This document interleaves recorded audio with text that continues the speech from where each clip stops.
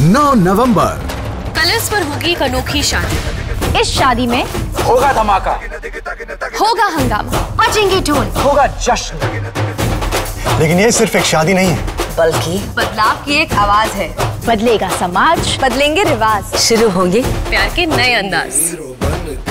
तो शामिल हो जाइए।